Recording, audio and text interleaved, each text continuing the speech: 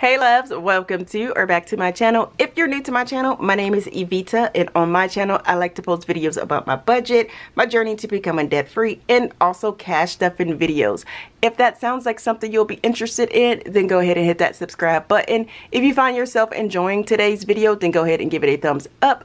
But in today's video, I am going to get you all caught up with my July budget. If you didn't know, I am still recovering from COVID. It, it, it was horrible. That's all I'm going to say. I went to Costa Rica and came back with COVID. 14 of us went and 7 of us came back with it. It's, it's, it's uh it was absolutely horrible you guys absolutely horrible i still don't have like a ton of energy and yeah if you can you might hear it in my voice if you watch my, a lot of my videos but i'm so sorry for the way i sound but I feel fine. It's just that I still have a cough and I my voice. My voice is just still crazy. Uh, all right, so let's go ahead and check in. So paycheck one uh, budgeted 15 got 16 16 all right like i was saying i do get paid this week. We'll see how much that check is going to be. I did have a rollover of 701 dollars and i had i emptied my $20 savings challenge. It had $200 in it so that actually came out as well. I did go ahead and stuff my uh, some of my envelopes with that $200 I only uh, stuffed a hundred of it and I'm gonna save the other hundred for this month's cash stuffing.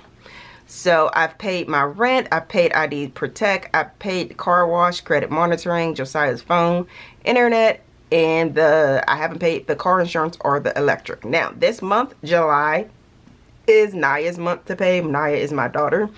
She's an adult. She has a job and she still lives with us. But we go every other month we pay. We alternate pay, alternate paying. So she pays the odd months and I pay the even months. So like I said I don't know you know it isn't gonna be 250 but if she can't pay the electric bill I always budget for it just in case she cannot pay it which you know you never know. Someone's situation but that's all for that. We're all caught up on that. So Capital One, so far I've paid $396, which is half of the 792 So I could write that in there.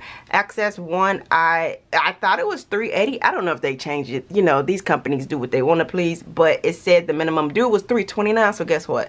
I paid 329 I'm focused on getting this paid off and then I'm going to go ahead and focus on actually getting this paid off. And this isn't the amount that I owe. You guys know that I always put whatever they have, but that is before interest has accrued and everything. So I am going to go ahead and erase this and put the actual amount. So I don't know where I get 7,022 from. Yeah, I wish. It is $8,176 honestly, I don't know where I got that 7,000 from.